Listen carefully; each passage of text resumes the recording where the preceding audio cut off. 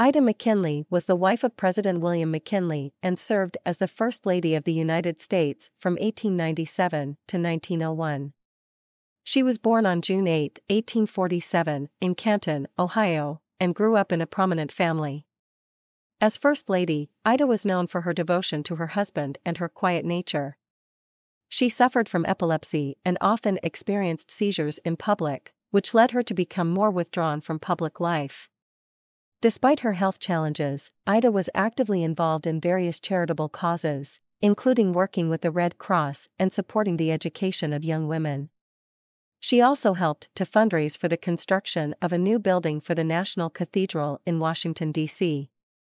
After her husband was assassinated in 1901, Ida's health declined rapidly, and she became increasingly reclusive. She died on May 26, 1907, at the age of 60.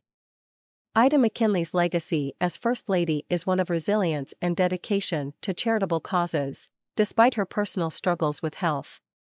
She will always be remembered as a devoted wife to President McKinley and a champion of education and charitable causes.